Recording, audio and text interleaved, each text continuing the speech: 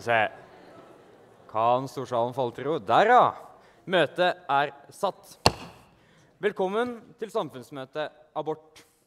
Siden i høst ble åpnet for å diskutere abortloven under eh, regjeringsforhandlingene, eller rettere sagt KrFs eh, lille føljetong, har debatten rast. Reaksjonene har vært sterke på begge sider, og engasjementet knyttet til temaet har vært stort.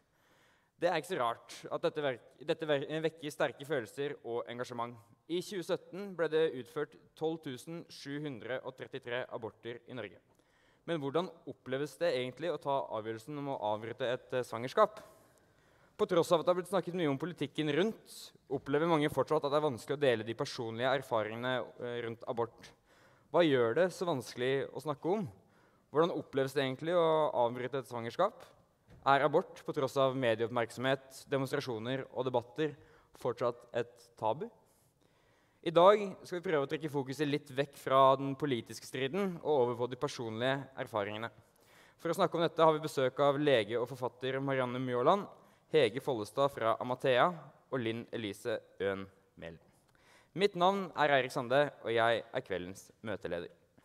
Og mitt navn er Sigrid Bergseng Lakså, og jeg er kveldens referent. Styret har følgende forslag til dagsorden. Punkt 1. Møtet er satt. Punkt 2. Styreprotokoll. Punkt 3 politisk femminutt. Punkt 4 innledning ved Hege Follestad. Punkt 5 innledning ved Linn Elise Øen. Punkt 6 innledning ved Marianne Mjåland. Punkt 7 pause. Punkt 8 sofaprat med spørsmål fra salen. Punkt 9 eventuelt. Punkt 10 kritikk av møtet. Og punkt 11 møtet er heva. Kan Storsalen godkjenne dagsordenen slik den foreligger, ved akklamasjon?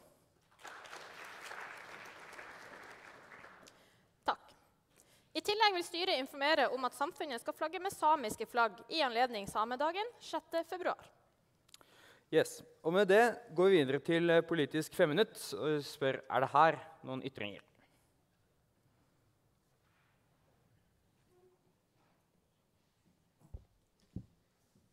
Ærede storsal. Mitt navn er Eivind, og jeg er medlem. Liberalisme er jo et av de begrepene som betegner en bestemt form for ideologi. Og jeg vil påstå at Liberalismens kanskje fremste kjennetegn er at den setter enkeltindividets frihet foran kollektivets eh, og statens eh, maktapparats rett til å utøve makt mot individet. Altså det er om å gjøre å beskytte individet mot eh, overgrep fra f.eks. staten. Det er flere partier eh, som har en større eller mindre grad av liberalistisk eller liberal ideologi som sitt grunnlag. I Norge så er det jo ett parti som virkelig har flagget liberalismen som sin fanesak eh, lenger enn noen annen, og det er partiet Venstre. Et parti som ble grunnlagt som en kampanjeorganisasjon for å innskrenke eh, regjeringen og kongens makt til fordel for Stortinget gjennom å øve press og sørge for en ny sedvane med parlamentarisk styre i Norge. Venstre er nå det partiet, vil jeg si, som har forrådt begge disse to grunnpilarene som de bygger sin tradisjon på, gjennom å aktivt gå inn for en sak som vil fjerne etablerte rettigheter fra befolkningen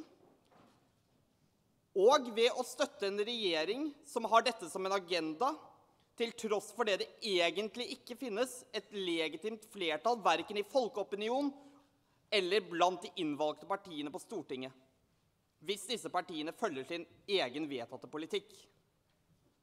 Jeg vil påstå at Venstre med dette har spilt seg selv litt utover sidelinjen, i hvert fall i forhold til de idealer de burde bygge på. Så jeg vil oppfordre alle Venstre-velgere i salen til å komme opp og forsvare hvorfor Venstre i liberalismens og parlamentarismens navn velger å støtte KrF sin linje i abortspørsmålet. Jeg gleder meg til å høre svaret, for det tror jeg vi alle sammen trenger å vite. Ikke minst en litt forvirret fyr som har studert litt statsvitenskap og parlamentarismehistorie, og lurer fælt på hvordan parlamentarismens største støttespiller ønsker heller å støtte en regjering i sitt maktspill enn å faktisk støtte liberalismen. Jeg avventer svar fra alle venstrevelgere i salen på dette politiske femminutt. Bare ta replikk nå med en eneste gang.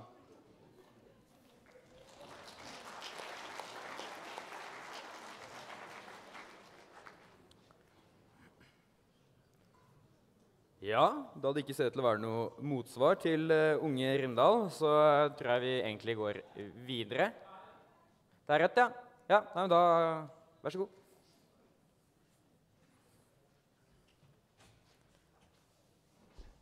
Vel, uh, jeg er Kim, og jeg er jo så klart et medlem. Hvis ikke hadde jeg ikke vært her. La oss være helt ærlige. Vel, jeg er ikke en venstrevelger for seg, men jeg kan til en grad se hvorfor de forråder sine egne aspekter for det. Og det ligger jo i kamp om statsmakt. Mange partier har forrådt mye av det de har stått for opp gjennom tida, bare for å oppnå makt. Og det er helt rett. Men hvis vi skal direkte gå inn på abortspørsmålet, så er det mer et spørsmål om eh, moral, valg og ansvar man tar for seg sjøl og overfor andre. Tusen takk. Ja.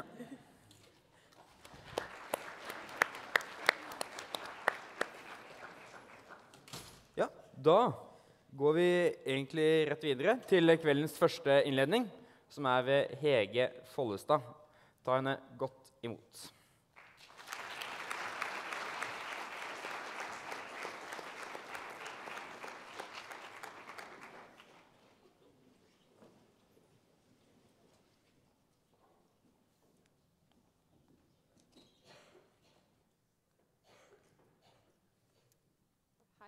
Så hyggelig at så mange kom i dag. Eh, jeg heter Hege Follestad og eh, er psykiatrisk sykepleier og veileder. Og så jobber jeg på Amathea, som er en veiledningstjeneste for gravide. Eh, jeg tok nylig en mastergrad i psykisk helsearbeid.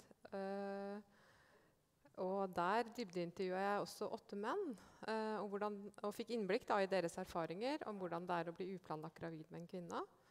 Og hvordan de opplevde å være midt i kvinnens beslutningsprosess. Eh, Amathea det er eh, en gratis landsdekkende helsetjeneste eh, og et lavterskeltilbud hvor man får rask time. Vi tilbyr samtaler på 13 kontorer og har både telefonsamtaler, og vi har også en chattetjeneste. Eh, vi har åpent hver dag, eh, alle hverdager da, fra åtte om morgenen til åtte om kvelden. Eh, Amathea får penger over statsbudsjettet og jobber etter lov om svangerskapsavbrudd. Eh, det er eh, paragraf 1 og paragraf 2 første ledd, hvor det står at fører et svangerskap til alvorlige vansker for en kvinne, skal hun tilbys informasjon og veiledning om den bistand som samfunnet kan tilby henne. Og kvinnen har krav på råd for selv å treffe det endelige valg.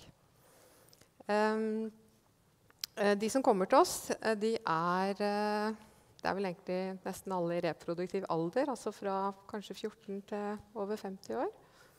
Det er både kvinner og menn som kommer. Og det Skal vi se Jeg skulle trykke på den her.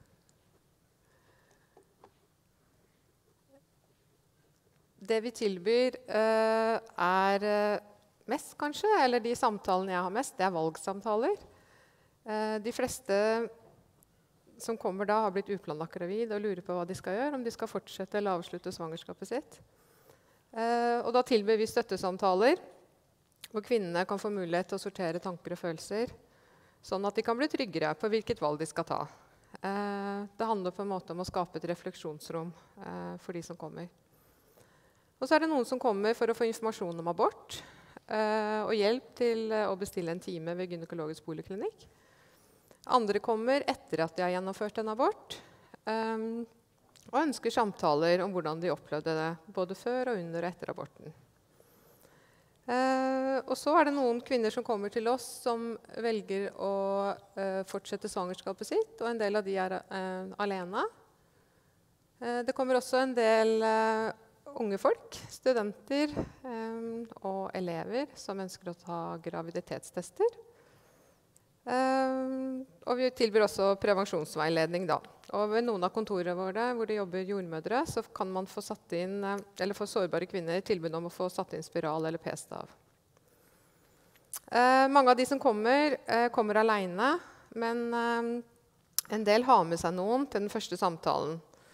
Eh, han som de har blitt gravid med, eller en venninne, eller kanskje moren sin. Eh, og flere par kommer til samtaler, og ofte så kan de være uenige i det her valget. Eh, og det kan bli ganske ekstra altså, utfordrende situasjon. Det å være uplanlagt gravid og uenig. Og noen ganger så hender det at det blir to valg i samme valget. At man ikke vet hva man skal velge i forhold til graviditeten, og om man skal fortsette å være i det parforholdet eller ikke. Um, ja. Jeg tenkte jeg skulle si litt altså De aller fleste håndterer det å ta en abort fint. Og de møter som regel ikke Vipa Mathea. Uh, de som tar en abort fordi de ikke ønsker barn, kjenner ofte på lettelse. Uh, men vi møter de som har behov for å snakke med noen. Uh, de kommer gjerne til flere samtaler for å snakke om det forløpet da, som både før, under og etter aborten. Og vår erfaring er vel at kvinner opplever en abort veldig individuelt. Altså at det er veldig forskjellig for, for den enkelte kvinne. Um, og ja. Vi møter hun som kjenner at hun tok et riktig valg, men som syns det er vanskelig allikevel. Hun som opplevde at hun hadde for dårlig tid på valget sitt. Hun som angrer seg. Hun som følte at hun ble pressa til å ta en abort. Uh, hun som opplever at ingen forstår henne. Hun som ikke har snakka med noen, eller hun som kanskje ikke klarer å ha fysisk nærhet til partneren sin lenger. Og så møter vi også han som kjenner seg svikta og ikke hørt. Eller han som sørger over at han ikke hadde, fikk muligheten til å bli far. Uh, ja. Så tenkte jeg kunne si litt om de følelsene som jeg møter uh, hos de kvinnene som jeg snakker med. da. Og så tenker jeg at Det er viktig at, uh, å si at alle følelser er jo normale, og ingen er feil. Én en ting er, kan være ensomhet. For mange kjenner seg ganske ensomme etter en abort. Eh, det handler ofte om at de har fortalt det til få. At det på en måte er en hemmelighet som de ikke vil at så mange skal vite om. Og så har de valgt det sjøl, og så var det ikke like lett å fortelle om de her følelsene som kan bli, være vanskelig i etterkant. Eh, det er på en måte ikke like legitimt å sørge etter en provosert abort som en spontanabort. Eh, det er mange som ikke føler seg møtt og forstått. Og noen ganger så går partneren raskere videre og forventer kanskje at hun skal gjøre det samme. Og så er det veldig vanlig å kjenne på ambivalens, altså motstridende følelser. De kvinnene vi møter, kjenner ofte på det. Både på positive og smertefulle følelser. For det er ikke enten-eller, det er både og. Eh, til tross for at mange kjenner på motstridende følelser eller erfaringer, da, så trenger de ikke å være i tvil eh, om den beslutningen de tok eh, om å ta denne aborten. Eh, og så er det sånn at Man ofte velger i presen, så noen ganger så slår den andre sida av ambivalensen inn etter valget. Eh, og da kan man kanskje se annerledes på situasjonen enn man gjorde på et tidligere tidspunkt. Eh, og så er det sånn at Mange av de som kommer, som jeg snakker med, syns det er de skulle ønske at ikke det var i situasjonen i det hele tatt, for de har ikke lyst til å velge noen av delene, verken å fortsette eller avslutte det svangerskapet. Men så må de ta et valg. Eh, og så er det noen som kjenner på anger og sorg. Noen angrer seg på avgjørelsen. Vi ser at det kan være de som eh, var svært ambivalente, og som brukte kort tid på å ta avgjørelsen. Eh, fordi det var så slitsomt noen ganger også å være i den situasjonen, så de ønska å eh, ja, avslutte situasjonen de var for det var kjempevanskelig. Andre kan kjenne på anger fordi de opplevde å ikke lytte til seg sjøl, eh, eller at de ble pressa til å ta et valg de egentlig ikke ønska. Eh, og eh, Dilemmaet er ikke alltid å velge mellom å fullføre eller avslutte det svangerskapet. Men det kan være hvem kvinnen skal ta mest hensyn til. Er det til seg sjøl, til mannen eller det hun har i magen? Noen kvinner kjenner på sorg også uh, over at situasjonen blei som den blei. over det som kunne blitt noe, eh, over partnerens reaksjoner og over mangelen på støtte. Og så møter vi flere følelser, og det er sånn at noen kjenner også på skyld. Eh, noen kjenner på skyld fordi de kjenner på lettelse ved å ha tatt et valg om abort. Eh, andre kjenner på skyld fordi de tok et valg eh, om han de var gravid med. Eh, at de tok et valg som han ikke ønska. Og noen sier at de føler seg egoistiske og stiller spørsmål til om de hadde gode nok grunner til å ta det valget de tok. Og så er vi, I de samtalene jeg har, så er vi ofte innom følelsen av skam også. Flere kvinner skammer seg fordi de ikke lytta til seg sjøl og ikke tok hensyn til sine egne følelser og verdier. Eh, noen skammer seg fordi de i det hele tatt kom i situasjonen hvor de ble uplanlagt gravid. Eh, de så på seg sjøl som en ansvarlig person og lurer på eh, var jeg ikke det, eller var jeg det, eller hvordan var det. Og noen skammer seg fordi de har tatt en abort, og så forteller de det til få eller ingen. Og det kan jo selvfølgelig ligge mange grunner bak det. Alt fra moral eller etikk eller religiøse verdier.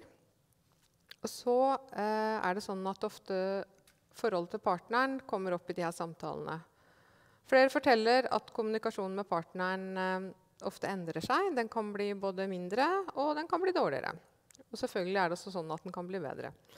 Eh, ofte sier kvinnen at partneren er en god støttespiller til å begynne med, men at han går lei av å snakke om det samme. Han forstår ikke hvordan jeg har det, sier hun ofte. Noen sier de ønsker nærhet og trøst av partneren sin, men at det er vanskelig å ta imot når de samtidig kan være sint på han. Og særlig da hvis de var uenige. Eh, og så er det sånn at Ved uenighet om valget så var det bare én som kanskje fikk det eh, den ønsket. Eh, det var på en måte ikke mulig med noe kompromiss. Ja, takk.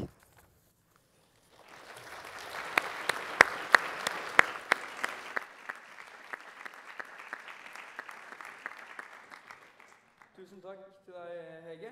Eh, Vi går videre til kveldens andre innledning, som er ved Linn Elise Øen Mælen. Ta henne godt imot.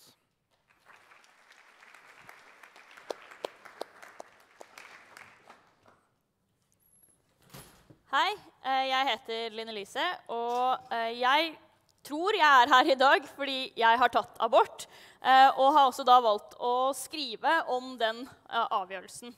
Og det er jo ikke som om jeg er aleine i det å ha tatt abort. Vi har jo hatt loven i over 40 år nå, og aborttallene har jo ligget relativt stabilt og over 10 000 kvinner i året ca. hvert eneste år. Og jeg er veldig glad for at eh, de som snakka Eller at det var eh, Amathea som kom og snakket først. Fordi Da fikk man kanskje høre litt mer om de, sånn, de, vanskelige delene av dette. De man møter som er mest usikre, de som sliter veldig med valget. De som syns det gjør vondt, og de som bærer det veldig med seg. Og jeg har enorm respekt for absolutt alle som føler det på den måten. Og jeg skjønner at det er noe folk føler. Eh, men det er ikke sånn jeg syns det var i det hele tatt. Og jeg eh, jeg, jeg, jeg, satt veldig lenge da, og tenkte litt om første gangen jeg skulle dele min historie om at jeg hadde tatt abort. Fordi jeg var leder i Rød Ungdom før. Eh, og eh, da det var da Dagrun Eriksen, tidligere nestleder i KrF, hun hadde settet seg ned og kommet med et nytt forslag til programutkastet til KrF. og Det handlet nemlig om en sånn skamdag, som vi veldig fort begynte å kalle det. Det handlet om at Dagrun Eriksen mente at kvinner burde reflektere litt mer over valget sitt vedrørende abort, og følte at det skulle innføres da en tidsbestemt periode på tre dager der kvinnen skulle først være hos konsultasjon hos en lege, så skulle de hjem og tenke, og så kunne de få lov til å få innvilget abort. Mitt og en del andre kvinners eh, budskap eller beskjed til Dagrun Eriksen var vel i korte trekk at vi klarte fint å tenke over dette uten at KrF skulle blande seg. Men det var veldig veldig hyggelig om omtanken eh, for vår eh, tenkeevne. Men den lever altså i høyeste grad hos meg. Og eh, det var liksom det som gjorde meg så forbanna provosert når jeg leste om eh, at Dagrun Eriksen mente at vi skulle tenke litt bedre over valget vårt. Fordi jeg tror ikke jeg har møtt en eneste kvinne en eneste gang som ikke har tenkt over det på forhånd. Det, liksom, altså, det er godt gjennomtenkt. Drar, altså, fra det sekundet du skjønner at du er gravid, til du på en måte er hos legen, så er det en ganske lang og god tenkeprosess der du får lufta en del ting. Og så er det jo selvsagt noen som føler det går altfor fort. Men det handler jo ikke om at man ikke tenker nok over det. Det handler jo ikke om at man ikke satte seg ned og fikk tid til å reflektere godt nok. Det handler jo om andre ting. Det er ingen jeg har møtt som noensinne ikke har tenkt over valget sitt. Og så må man jo selvsagt angre på det valget i etterkant. Enten man valgte å føde barnet eller man valgte å beholde det. Men det er noe annet enn det å kunne reflektere rundt det. da. Så jeg ville da skrive om det for å si sånn Hallo! Vi tenker. Det går bra. Eh, kanskje dere kan jeg vet ikke, prøve å få gjennom noe annen politikk. Kanskje ta vare på noen sånn asylsøkere eller noe. Det hadde vært litt fett for oss. Eh, men ellers så har det jo vært da et inntog av både reservasjonsrett, fosterreduksjon osv. osv. Det er jo høyt politisk, og de som snakker høyest om dette temaet i samfunnet vårt, det er jo nettopp politikere. Det tror jeg også er en av grunnene for hvorfor kvinnene som tar abort, eller partnerne deres, ikke er så komfortable over å snakke om det. Nettopp fordi det er ikke en privat, personlig ting sånn som vi ser det i samfunnet. Det er liksom høyst politisk altså, De siste måneders debatt har jo ikke vært noe annet enn politisk. Og eh, det er jo, altså, Om det er Olaug Bollestad eller Kjell Ingolf Ropstad eller noen andre fra menigheten eh, som Kjell Ingolf Ropstad er en del av, som tydeligvis også vil omvende homofile Bare en liten sånn side note der. Eh, så er det jo kun politikken man hører ved det. Og jeg skal være så ærlig å si at når Kjell Ingolf Ropstad snakker om abort, eh, så anerkjenner jeg at han og jeg er 110% uenige. Vi er veldig enige om at man må gjøre mer for å eh, sørge for at kvinner ikke blir uønska gravid. Men det stopper på en måte der. Jeg synes Det var helt fantastisk når Kirsten Golf Ropstad for liksom sånn fem-ti år siden gikk ut og sa at vi må gjøre langtidsvirkende prevensjon eh, billig eller gratis for unge kvinner. Da tenkte jeg sånn Tipp topp, vi er på samme lag. Siden så har ikke vi vært så mye på samme lag i abortdiskusjonen. Det kan jeg trygt si. Men det er én ting å høre de snakke, fordi de vet jeg er veldig uenige med meg.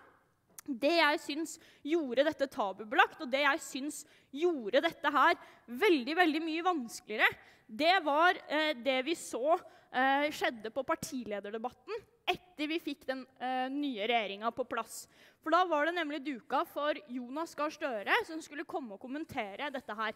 Og jeg syns Jonas Gahr Støre har stort sett gjort en uh, rimelig god jobb. Og det er jo kanskje ikke så mange som sitter og ser på denne partilederdebatten etter vi har fått på plass en regjeringserklæring, når du også har sittet og live-oppdatert hva som har skjedd på alle nyhetskanalene for å følge med på alle utviklingene uh, som har skjedd i regjeringsforhandlingene. Jeg er litt grann nerd, så det kan hende at det ikke var alle som liksom, det festa seg like godt hos, uh, som hos meg. Men da Jonas Gahr Støre sa at dette er det vanskeligste valget en kvinne noen gang kommer til å ta, det syns jeg gjør hele tiden vondt. da. Når man hele tiden får høre at dette, dette er det tøffeste du skal gjennom i livet ditt.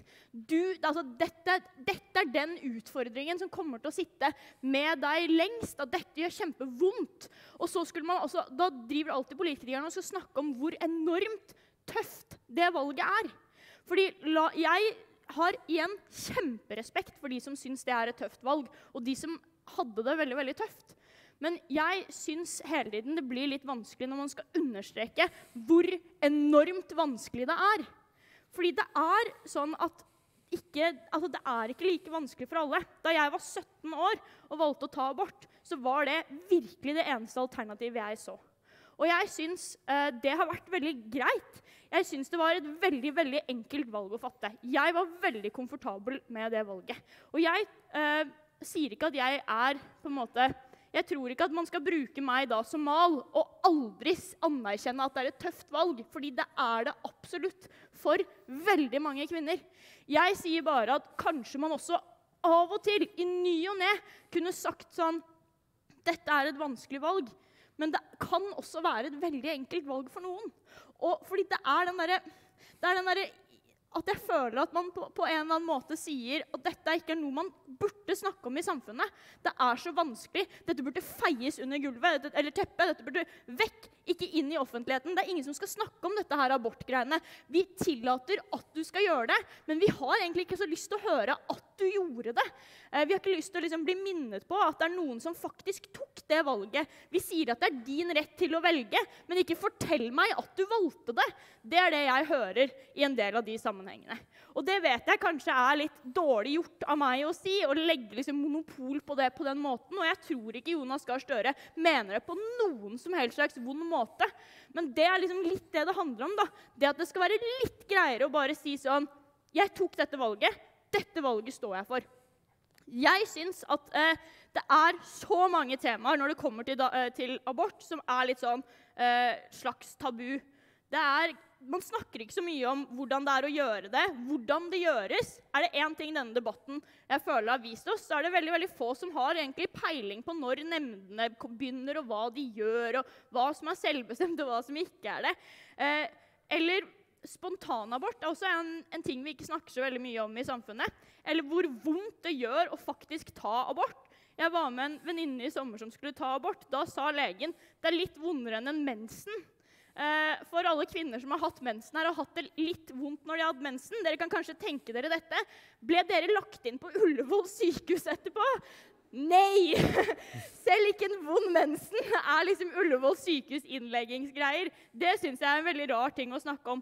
Og hvem som blir gravid, det at det gjelder så mange forskjellige folk. da, At det er kvinner som allerede har født en del barn som ikke har råd til et annet eller har lyst på et annet. At det er unge kvinner. At det kan skje, liksom, kan skje den beste. Og eh, det er liksom det er så mye av dette her jeg tror man må diskutere og kan få opp på dagsorden. Jeg sier ikke at det alltid skal være enkelt, og jeg tror ikke det kommer til å bli et enkelt valg å ta. Jeg tror bare det er helt OK hvis noen flere tør å dele sin historie og si sånn Du er ikke alene. Det er ikke et problem at du gjorde det. Vi som samfunn anerkjenner at det er retten til selvbestemt abort. Og da må du også få lov til å velge å faktisk ta abort uten at det skal problematiseres at du gjorde det i etterkant. Fordi det handler nettopp om at hver enkelt kvinne som gjør det, må få lov til å eie sin historie. Og for de som syns det var vanskelig, så har jeg veldig respekt for at de skal eie det. Men for de som syns selve ved valget var lett, så må de også få lov til å eie den delen av historien. Og at det ikke er én som tar abort, men at det er et helt spekter. Eh, og det tror jeg man kan belyse litt mer. Og så gleder jeg meg til å snakke mer om det. For jeg, jeg tror kanskje folk kan være litt uenige her.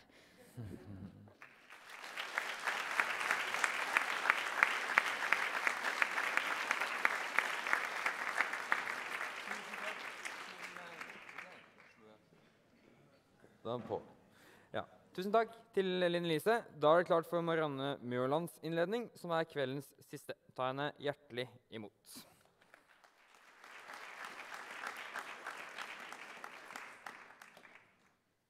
Eh, ja, hei. Takk eh, for at jeg fikk komme. Jeg heter Marianne Mjåland, og jeg er eh, Ja, jeg er feminist og lege og kvinne med egne erfaringer med abort. Eh, jeg har skrevet en bok som er en roman, men som har abort som tema. Som jeg skal bare lese litt fra, som er bygd på noen erfaringer jeg har profesjonelt, da, men også personlig.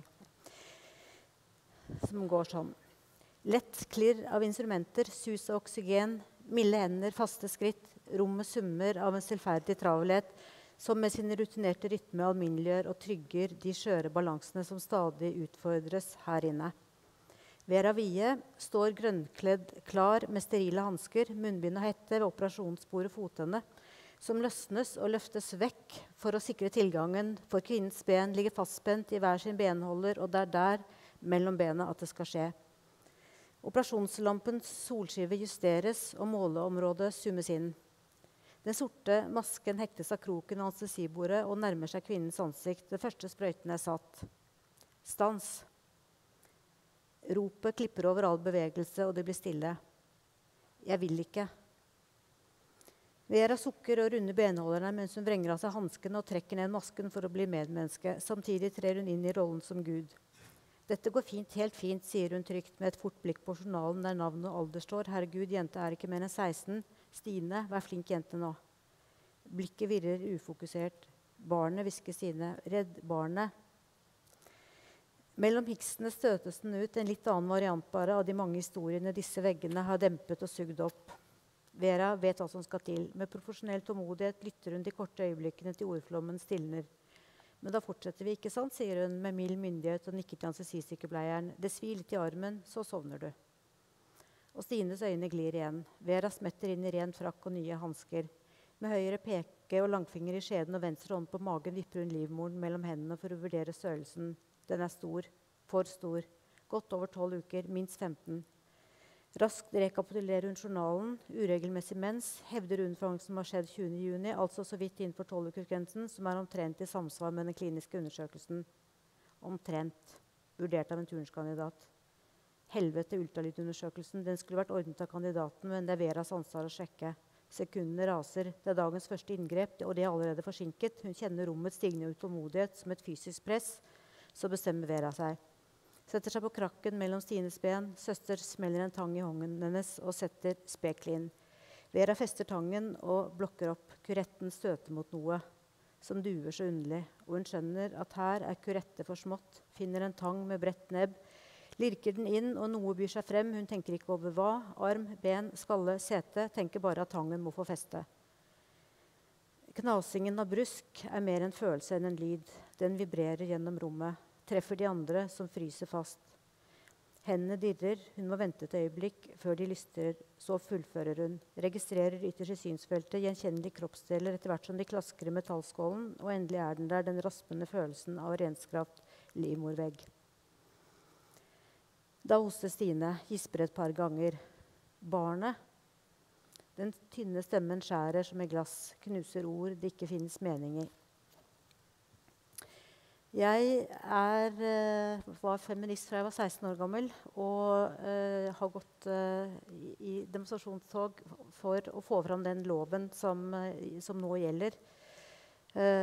og på den tiden så tenkte vi, jeg på abort som en ja, en litt sånn teknisk sak. Eller vi definerte det som en helt sånn teknisk sak. At det var omtrent som å gå til tannlege og trekke en tann. Eller, og det var jo noe med det sånn, På den måten så var det bare kirurgiske aborter. Så, så eh, det, det, var noe med at det, du kom inn på et sykehus, og så, og så, fikk du narkose, så du var jo ikke med på det hele. Og så var det over, og, og det skjedde noe der inne med ståleinstrumenter, og alle var kledd i grønt og hvitt og sånne ting, som på en måte pakket det inn på en måte at man ikke trengte å forholde seg til hva det egentlig dreide seg om. Uh, og det var jo på en måte, det var det Jeg og var og er fortsatt uh, tilhenger av den abortloven. Og jeg tenker at det var en, en helt nødvendig kamp som, som, kvinner holdt på med i uh, årtier før den ble vedtatt. Men likevel så var det altså dette er Det som jeg skrev her, er et eksempel på at etter hvert som jeg selv jeg ble lege Jeg ble jobbet dels med å ta, utføre inngrep, men også med å gi narkose. Og det var slett ikke alle kvinner som uh, reagerte sånn som denne jenta. Men det var ikke så sjelden heller at når, når, den første sprøyten blir satt, hvor du mister noe av nettopp sånn forsvaret altså, du, det, Vi kan tenke, kvinner kan tenke, men tanken er én ting. Det som sitter sånn lenger ned i kroppen, er, gir kanskje noen andre signaler. Når du, du, begynner å miste kontrollen ved at du begynner å få narkose, så er det andre ting som kommer frem. Og det tror jeg kanskje ikke alle er helt, helt, forberedt på. I hvert fall ikke første gangen de er gjennom det. Du vet ikke hva en abort er før du har gjort det. Så du kan sitte og, og, kan sitte og tenke, og det er ikke sikkert at det er noe eh, hjelp i å snakke med noen andre, men det å prøve å få en, sånn, en, slags forankring rundt en avgjørelse du velger å ta om å ta abort, så tenker jeg at det, eh, at det i hvert fall er en sånn viktig prosess. Og For meg så ble det en sånn stadig mer sånn ubehagelig sak. da. Det begynte sånn profesjonelt med at jeg begynte jeg bare eh, Livmorinnholdet, da, som det kalles, eh, dvs. Si fosteret Vanligvis når det er en vanlig abort tidlig, så blir det sugd gjennom en sånn eh, plass, klar plastslange. Man, men jeg begynte bare å snu hodet vekk når det liksom passerte, for å slippe å se det. Og, men, eh, men, dette var noe som bare, et ubehag som jeg tenkte her er det jeg som er uprofesjonell. Jeg må, bare, jeg må selvfølgelig forholde meg til den jobben jeg skulle gjøre. Og så ble det sånn i mitt eh, liv også floket seg til på et tidspunkt. Og jeg eh, valgte selv å ta abort, og da ble ubehaget sånn Det vokste og var eh, enda mer sånn politisk ukorrekt og vanskeligere å si til noen. For jeg var, jeg var jo fortsatt feminist og var fortsatt tilhenger av abortloven. Men jeg bare kjente at det ble veldig feil. Og, jeg, og det var veldig tomt, og det var trist. Og, eh, og en sorg som jeg var litt uforberedt på at jeg skulle få. da. Eh, og så men, men fortsatt litt fordi jeg ikke følte at ikke det hang sammen for meg selv. For jeg kunne ikke, jeg var jo, jeg syntes det var fælt å ta abort. Jeg syntes det var fælt å ta inngrepene, og jeg syntes det var fælt for min egen del at, at jeg selv hadde tatt abort. Jeg skammet meg over det også. eh, fordi det var, det var mot mitt etiske kompass. Og så har andre andre etiske kompass. Men likevel så var det sånn for meg. da. Og hvordan skulle jeg få dette til å henge sammen? Så, men så etter hvert så har jeg kommet fram til at det å Altså jeg forsvarer retten til å ta abort, og jeg, stå, jeg støtter abortloven og, øh, og holder fast ved det. Men det å, å ha rett til å ta abort er ikke det samme som en plikt til å ta abort. Og i det rommet der tenker jeg er det viktig å ha et refleksjonsrom. og løfte så mange historier som mulig og løfte det opp. Og ikke la ubehaget forsvinne, men ubehaget finnes der for veldig mange. Og jeg tenker at det ubehaget skal, skal, eh, skal man ikke prøve å dempe. Altså Man skal ta frem aborten, men man skal holde ubehaget også oppe. For hvis loven er en ramme, så innenfor, innenfor den rammen så er det et rom for etisk refleksjon. Og det er det som jeg eh, ønsker å eh, løfte fram i denne, i denne problematikken. Um, og det går an å velge å si ja til et uh, foster eller til et barn selv om det ikke er planlagt. Og det er en prosess i løpet av svangerskapet. Man kan, kan være, man kan ta imot et barn selv om man i utgangspunktet ikke hadde eh, planlagt det. Og jeg, jeg har også vært Første gangen eh, jeg ble gravid, så var jeg, da var jeg 22 år. Det er ikke sånn sykt uh, ungt, men jeg var, var nokså umoden. Eh, og det var i 1977, og da var det fortsatt eh, abortnemnder for alle aborter. Så jeg var i nemnd og sto der i en sånn kort skjorte som så vidt eh, Naken un, under en sånn kort skjorte som så vidt dekket underlivet foran en sånn rekke med menn som satt og skulle veie min skjebne og min, min, mine grunner til å skulle ta dette valget. Og jeg var heldig og fikk innvilget inngrepet. Men jeg var enda heldigere fordi jeg hadde en Det er han som var faren til eh, barnet som jeg var, som sitter der. han var like ett år eldre enn meg bare, men han var mye mo eh, modnere enn meg. Og han gikk inn og tok ansvaret for meg og for barnet. Og eh, jeg, vi fikk vårt mirakelbarn, som er det eldste barnet som vi har.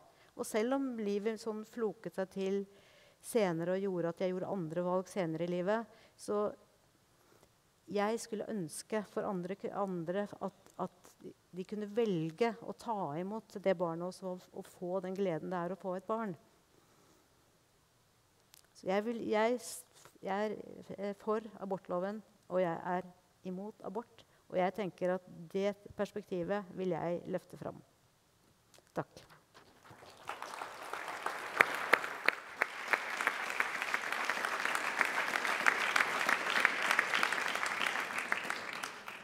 Tusen takk til Marianne, Linn Elise og Hege for eh, deres eh, innledninger.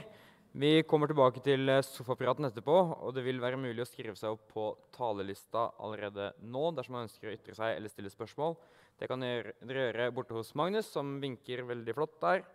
Det kan dere fra nå, gjennom pausen og under sofapraten. Før den tid tar vi en 15 minutters pause, er tilbake her klokka åtte.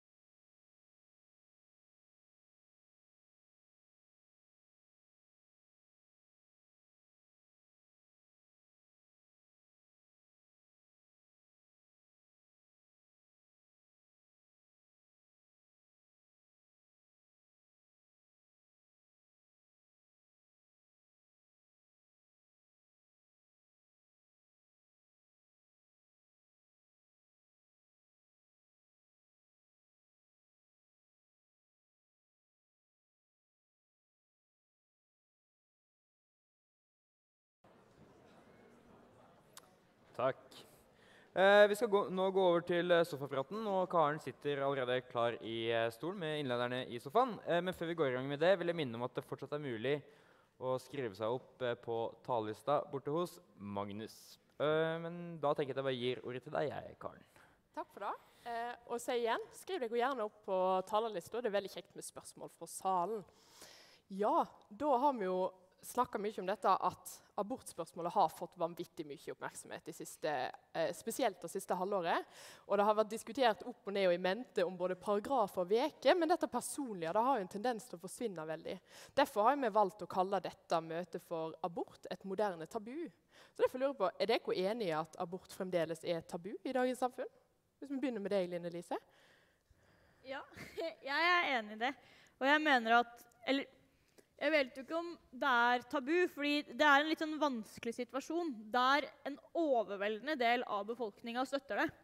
Eh, og til og med den delen nå som er ganske lite Altså fosterreduksjon, som ikke nødvendigvis er på en måte eh, det, det, viktigste nå, i retten til selvbestemt abort. Eh, det viser jo også en undersøkelse som kom i går eller forrige dagen, at syv av ti eh, velgere er enig i at det var en feil innstramming i abortloven. Og så var det én av ti som var usikre, og to av ti som støttet det. Og til og med i KrF så var det en del som mente at det var feil. Så det er en veldig sånn rar ting da, der du har en veldig overveldende støtte for både retten til selvbestemt abort eh, i Norge. Men så er det jo de tingene jeg mener som er tabu ved det. Det er jo det å snakke om det. Eh, eller det å liksom kunne forklare litt mer rundt det. Eller det å ha litt sånn den tredje posisjonen. da. Eh, ikke liksom, la oss kalle det Kjell Ingolf Ropstad-posisjonen, der du på en måte er mot veldig mye av det. Og så har du en sånn eh, en posisjon i midten der du har veldig lyst til å eh, der, der, du, der du syns det er greit, men du vil veldig, veldig gjerne ikke snakke om det. Og helst kanskje ikke se det heller. Og du vil i hvert fall ikke ha det opp i samfunnets debatt. Og så er det den tredje delen da, som kanskje er litt tabu. Det å nettopp løfte det litt fram og snakke om det. Ikke forherlige det, men bare si sånn Dette fins. La oss diskutere det litt det er lov, liksom. Mm. Uh, den delen tror jeg er veldig tabu. da. Og, og alt på en måte knytta til det. da. Uh, rundt det å snakke om det, nemndene, det å snakke om uh, hvordan det gjøres. da. Det å snakke om hvis du skal ta en medisinsk abort som da ikke er kirurgisk, men snakke om på en måte hva som skjer med kroppen din, og, og liksom, mm. hvor vondt det kan gjøre, og liksom en del av de tingene. Veldig tabu. Hvordan opplever du det, Marianne? Er du enig i dette? Ja, altså Jeg er uh, enig i at det er et uh, tabu, men jeg tenker ikke at alt skal avtabuiseres. Altså. Jeg tenker ikke at det er et mål, for jeg tenker at en av grunnene til at dette er et tabu, er at det er, et, altså det er etisk uh, komplisert om alle sånn, hvor, i hvilken grad man kjenner det på i sin egen kropp, eller altså med sitt, hver enkelt kjenner det. Det vil variere hvordan man, hvordan man tar det inn. Men hvis man tenker sånn som samfunn Det er jo å ta liv, uansett man, hva man kaller det. Altså Et foster har jo liv fra det blir unnfanget, og det er et selvstendig liv. Og vi har akseptert at det i vår kultur at det er greit inntil tolv uker. Og så er det ikke like greit lenger. Og så er det en slags sånn gradert. Altså det blir jo mer og mer nærmere fødselen man kommer, så er det jo ikke veldig greit å ta, ta det livet. Men, så det er en sånn er, Vi tillater ikke å ta liv i noen andre sammenhenger, bortsett fra i krig, da, i vårt samfunn. Så det er en sånn det er en, en, en etisk sånn spenningsfelt uh, uansett. Og, da, og, det tenker jeg at, at, det betyr ikke at ikke det skal løftes fram, men jeg tenker at man skal løfte det fram med en sånn Jeg mener absolutt at det skal løftes fram. For jeg tenker at det å overlate dette til hver enkelt kvinne er egentlig ganske sånn dårlig gjort. At man skal bli sittende med det valget selv. Man skal på en måte ha nok historier å kunne speile seg i til at man kan kjenne seg inn i noe. Og det tenker jeg er et slags sånn fellesansvar. Og man trenger en sånn felles samtale, en offentlig samtale rundt det. Men med alle disse nyansene. Men jeg tenker sånn Det betyr ikke at det skal avtabuiseres. Men hva mener du? ønsker du mer åpenhet? Eller ja, du, ja, ja, ja altså jeg sier jeg vil løfte fram. Jeg vil ha mm. det mye mer frem. Jeg vil ha den etiske kompleksiteten frem. Mm. Og den variasjonen i eh, både sånn de, de enkelthistoriene Og jeg tenker jo mer personlige historier ikke, Det er ikke så lett å ja, altså, Politikere er jo ikke noe som gir gjenklang for de viktige eh, beslutningene i mitt liv. Det liksom treffer ikke meg i hjertet. Og, men, det, og det er noe av det som jeg syns er det mest sånn kyniske e- egentlig. Jeg synes det er kynisk utspill det som, i forhold til den abortloven. Vi har den abortloven vi har. Kunne vi ikke bare fortsatt med det? Det som har skjedd nå, er jo at det, du får den polariseringen hvor det blir veldig lite rom for å løfte fram nettopp de sånn personlige historiene som, som man kan kjenne seg igjen i. Som er sånn Her er det noe som det er noen som kjenner, har det sånn som meg, noe som treffer meg. Da får du de skyttergravsposisjonene som eh, gjør at det blir nesten umulig å få fram nyansene. da. Og, det, synes, og det, det, det tjener ikke fostrene, og det tjener ikke kvinnene. Og det er et, sånn, et kynisk maktgrep fra KrF sin side. Synes jeg. De ofrer på en måte nyansene og e- etikken egentlig på sitt eget politiske sånn spill.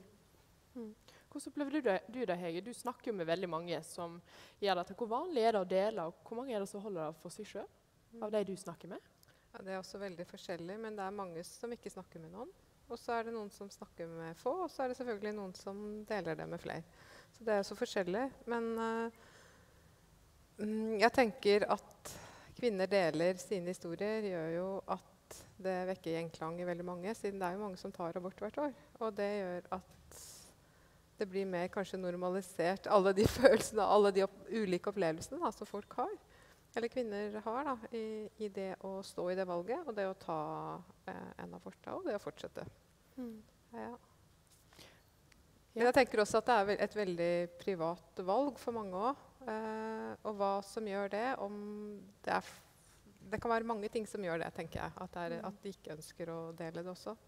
Men det er, det er veldig fint hvis det, kvinner deler eh, også. for det er jo en rettighet kvinner har, men så er det også pålagt et stort ansvar ikke sant, for kvinner å, å få, få den rettigheten. Mm. Nå har dere valgt å ikke bare dele det med de nærmeste, men dere har jo gått offentlig med og har tatt en abort. Kan dere fortelle litt om responsen dere har fått på å gå ut offentlig med det? Du Marianne for eksempel, kan begynne. Jeg har fått veldig mye respons. Eh, men, og det, det har vært eh, altså, alt fra sånn brev som jeg har fått i posten med sånn skjelvende gam, gammel dameskrift som, som håndskrift, som, som aldri har delt den historien og fortalt om det før. Og, så, og, og da sporet opp min adresse og sendt eh, til meg, og, og SMS-er og eh, mailer og, eh, og også sånn folk som har kommet bort til meg som jeg ikke kjenner, og masse folk som jeg kjenner som jeg ikke ante at den hadde tatt seg bort. Som, og begynner ofte med veldig sånn Hvorfor må du grave opp dette her? Altså, det er ofte eh, folk som har kjent, hatt den Kunne vi ikke fått bare få ha det i fred? Og så kommer på en måte sånn Ja, for det er jeg ikke sant? Så kommer den personlige historien etterpå som på en måte først liksom Det er Jeg føler at det, er, det står under trykk, da. Altså at det, for mange så er det noe som Kanskje, kanskje De andre kommer kanskje ikke til meg, men de som, de som har kommet til meg, har på en måte da, det er noe som er problematisk, og som de ofte ikke har snakket med noen om. Ut fra det vi har snakket om på forhånd, Lise, så virker det som at du har fått en ganske annen form for tilbakemeldinger enn det Marianne har opplevd. Ja, Det hadde vært litt hyggeligere å få sånn håndskrevne brev der folk takker meg for valget mitt. Det fikk jeg ikke. Uh, det gikk ganske greit å si det til dere, da. Det, det var helt ok. Men nei, da jeg sa det, så fikk jeg sånn um, På Twitter så husker jeg fikk tilsendt sånn meme av meg selv som uh, hadde liksom tatt abort. Og uh, døde fostre får du ofte i sånn Facebook Messenger-boksen din hvis du snakker om abort og er litt, sånn, litt for ivrig da, på å liksom forsvare en del rettigheter. Så jeg fikk egentlig ehm, bare det motsatte. Eh, det, det man i disse dager kaller netthets, var det jeg opplevde eh, da jeg valgte å si det. Men det tror jeg jo altså sånn, Ut ifra alt hva jeg vet, så er jo det fra en ganske liten gruppe mennesker som er litt sånn i utakt da, med, med på en måte dagens abortlov, eh, kan man vel kanskje si. Og det er jo også derfor jeg mener det er litt fint på en eller annen måte og det å skulle snakke om det, fordi jeg veit at det, det, er, det sitter veldig langt inne. Og for en del folk, og for folk både å høre det og å kunne si det, da, at det å ta abort er altså når vi snakker om, Det er veldig veldig mange kvinner som utfører det hvert eneste år. da. Er, altså, nå er jo tallene relativt lave på 12, men det har jo vært rundt 14 000 kvinner veldig, veldig mange år som har gjort det. Hvert eneste år. Det er jo helt åpenbart en god del kvinner som ikke deler denne erfaringen. Eh, og det også skulle dele da, og si sånn Jeg gjorde det, og det var ikke så vanskelig for meg. Det tror jeg sitter langt inne. da, og Det er jo også derfor jeg tror jeg litt fikk den hetsen. Fordi jeg ikke problematiserte det i større grad. Og det tror jeg er liksom veldig vanskelig for en del å høre. da. Kanskje den hetsen òg er med på å bevise at det er viktig med den åpenheten som er fremme? Det var en utrolig fin martyrtankegang. jeg kan godt si det. Den, nei, men uh, i, i, seriøsitet Ja, jeg tror jo det at når man Altså, de gangene jeg har blitt hetsa i offentligheten, så har det jo vært saker jeg føler jeg har løfta som har vært viktig. Det er jo ikke når man har snakket om liksom, leksefri skole som rød ungdomleder, at noen hetser deg. Liksom. Det er når du snakker om abort da, eh, eller andre typer ting. Og det er jo fordi det er en viktig ting å snakke om. Mm. Eh, så absolutt så tror jeg det er viktig å løfte de tingene som man kanskje også får hets på mm. i media. Og så skal man jo ikke gjøre det bare liksom, for å gjøre det, eller gjøre det uten mål og mening. Men jeg mener at det er eh, altså, den gamle eh, liksom politisk parola, da, der man sier at sånn, det private er politisk. Eh, jeg er jo enig i at måte, politikerne ikke speiler nok da, det vi snakker om her, og at det ikke er tilstrekkelig å bare høre på den politiske debatten. Men for meg så er det helt åpenbart at når man har en tone blant politikere der de er veldig negative til liksom, abort. Og når eh, liksom KrF da, på en måte leder den diskursen, eh, så gjør jo det noe med de kvinner som sitter i de tusen hjem hjemme eh, og lurer på liksom, hva de skal gjøre, og, og kjenner på sitt valg. Det er jo når du hører på en måte fra alle andre dette, var, altså, dette er nesten litt sånn forkastelig, da, og du kjenner med deg selv sånn jeg syns ikke det var så forkastelig. Da lurer du jo på hva faen er galt med deg, da. Uh, og Det er jo derfor det er viktig at også politikerne kan snakke om dette på en mer nyansert måte enn det de gjør i dag. Sånn at de kan speile de som sitter hjemme og kjenner på det. Mm. Ja. Jeg må tenke En, en sånn tilleggsmoment her er at uh, altså, noen føler kanskje at den tiden de har til, uh, til råd altså, Du har jo begrenset tid du skal, hvis du blir gravid og begynner å lure på om du skal ta abort eller ikke. Og for noen så er det sånn, kanskje en avgjørelse som man ikke trenger så veldig mye tid på. Men for noen andre så, så, er, så, så blir det en sånn eh, så er det en ganske kort tid. da. Eh, man, og så pendler man frem og tilbake, og så blir man sittende i et sånt spenn. Og da tenker jeg at det å ha vært tenkt gjennom det før, eller har hørt andre, eller at det på en måte har klangbunn i et eller annet før du kommer i den situasjonen, at det kanskje kan gjøre at det er lettere å Altså, du har en, noen referanser i liksom, offentligheten, noe som har kommet til deg, du, så du er litt forberedt på hvordan du skal kunne håndtere den situasjonen, sånn at det blir noe som, som eh, du, du, kan stå for, da, uansett mm. hvilket valg det er du velger. Tror du jeg at det kunne vært lettere for de kvinner som kommer til deg, om det hadde vært mer åpenhet rundt andre sine historier? At det kunne vært mer løst noen problem? Jeg tenker at hun eh, sånn som Marianne sier, at hun hadde hatt mulighet til å reflektere mer over uh, ulike uh, ja, opplevelser rundt det. Det tror jeg nok at det hadde hatt. Men så er det litt sånn Jeg vet ikke om det kanskje går an å sette seg helt inn i det før man har opplevd det selv heller. Mm. Fordi jeg kan jo møte kvinner som har tenkt at det å ta abort altså det er den eneste løsningen for meg hvis jeg blir uplanlagt gravid nå.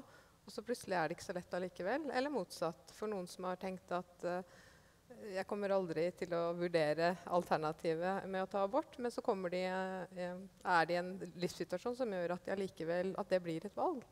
Så jeg, jeg, tror det er litt vanskelig å sette seg inn i kanskje før du er der. Mm. Og så er det veldig um, situasjonsavhengig, eller livsavhengig, altså hvilken situasjon du er i når det skjer.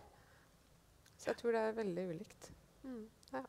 En annen ting som har vært diskutert mye, det er jo dette med nemnder. Og du Marianne, nevnte så vidt i, eh, i, innledningen din at du var eh, inne hos en nemnd. Kan du fortelle litt mer om hvordan du opplevde det? Sånn utover hva du sa i stad? Nei, jeg følte meg jo hva skal jeg si, bokstavelig talt avkledd. Og det var jeg jo òg. Altså, det var også sånn ikke sant? Det var jo I uh, Oslo på den tiden så var det to nemnder. Så det ene var mye strengere enn den andre. Og du visste ikke hvilken nemnd du kom til. Og jeg, så jeg, jeg, kom dit, uh, og jeg kom til den strenge nemnda. Da. Altså jeg, jeg kjente igjen ansiktet til han som var leder for nemnda fra avisene. Uh, og, det, og, det, var en sånn Jeg var 22, og det var, uh, det var sånne gamle gynekologmenn. da. Og så ble jeg Så jeg, så jeg sto der Jeg hadde liksom kledd av meg for jeg skulle undersøkes også, så jeg sto der liksom Jeg følte meg veldig naken. Var liksom skjorta så vidt ned, øverst på lårene. og, og liten og, og sånn Ja. Altså jeg på en måte sto der og la min skjebne i deres hender. Så jeg følte meg veldig sånn sårbar og veid. Så ble jeg undersøkt bak et forheng, og så satt resten av gruppa der. Og så ble jeg lagt opp i en sånn GU-benk, og skulle den ene undersøke meg for å på en måte sjekke om det stemte at, det var, at jeg var, ikke var kommet lenger enn det som eh, jeg hadde sagt. da. Ja. Så det, så det, var en veldig ubehagelig eh, situasjon. Men mm. altså, det er ikke sånn, det kunne godt hende at det kunne vært ok for meg hvis jeg hadde hatt noen å snakke snakket med for å på en måte hva skal jeg si, prøve å sortere. Det er, det er noe helt annet. Men det, kjentes, det var ikke noe det, det var en ydmykende situasjon, syns jeg. Og det var mm. veldig sånn følelse av å være avmektig og ikke ikke. Så det var ikke nemnda som på en måte gjorde utslaget for meg. Altså, jeg fikk jo innvilget det, så jeg var jo på en måte sånn heldig sånn sett. Men, men, så det var jo andre omstendigheter som gjorde at jeg, jeg valgte noe annet den gangen. Men, mm. men uh, det var ikke noe god opplevelse. Du og Høyre har vel sikkert snakka med en del som har vært inne i nemnd. Hvordan har den opplevelsen vært for deg? Um, jeg har snakka med noen, men eh, de fleste som kommer i nemnd, i hvert fall her i Trondheim, får snakke med sosionomtjenesten på sykehuset. Det er de som følger opp. Uh, og så, hvis de i etterkant uh, kan ha behov for samtaler, så kan de komme til oss da. Mm. Eller bli fulgt opp videre av sosionomer som de har fått en god relasjon til der. Um, jeg syns jeg gjentar meg sjøl litt, for det er så forskjellig. Uh. For noen så er det en vond opplevelse. Uh, og en litt um, Det å ikke kunne bestemme selv, selvfølgelig, da. Og, men for andre igjen så kan det være en litt lettelse av at noen kan fortelle deg at det kan være noe medisinsk eller eh, altså en grunn, da, på en måte, så du slipper å ta avgjørelsen etter alene. Så det er litt forskjellig. Det kommer helt an på situasjonen. det mm. Du var jo ikke nevnt, men kan du fortelle litt om din opplevelse med møtet med helsevesenet mer eh, generelt? Uh, ja, det er sånn uh, Jeg husker veldig godt uh, at da jeg skulle være inne til undersøkelsen, så var hun legen som var og gjorde undersøkelsen, hun var gravid i sånn åttende måned eller noe. Så ikke bare sånn litt gravid, sånn supergravid. Uh, og da, det tenkte jeg var en slags sånn enorm ironi. uh, og det er uh, Når du også sitter på Ullevål sykehus der, så sitter du jo også der alle de som skal føde og har lyst på barn, sitter. Og så er det masse sånne forbanna storker overalt, på alle vegger. Uh, altså Det er en slags storkinvasjon. Så, så det, er jo veldig sånn, det er en veldig rar ramme rundt det hele. Rundt hele liksom, helsevesenets uh, tilnærming til det. Det var veldig, veldig rart. Men uh, det var liksom et, ja, et sånt det, det, var så komisk at man nesten ikke klarer å liksom forholde seg til det når det blir sånn storker og gravide leger. liksom. Um, men det er, altså Selve helsevesenet syns jeg for det meste gjør en veldig sånn uh, tipp topp jobb. Jeg, uh, det, det, har jeg ikke liksom, noe å utsette på. Men jeg vil jo fjerne nemndene. Uh, jeg mener jo det, og det skulle vi jo på en måte ikke snakke om. Men, men det mener jeg jo er en av de tingene. At nå kan du jo ta og få nemndbehandling til 18. uke. Og ja, det er jo mange som vil at det skal Eller ikke mange, da. Det er noen som vil utvide det, sånn at du kan ta selvbestemt abort enten til 16 eller 18. Og det mm. kan også være en av de tingene som kan gi litt mer tid da, til refleksjon, samtidig som det selvfølgelig blir vanskeligere og vanskeligere å skulle utføre en abort jo lenger i svangerskapet du er, av helt åpenbare grunner, fordi fosteret blir jo større og større.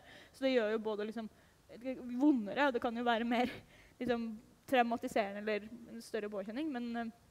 Eh, jeg mener jo at altså, Det er jo andre land i verden som har mye lengre eh, tid da, på å ta valg enn det vi i Norge har.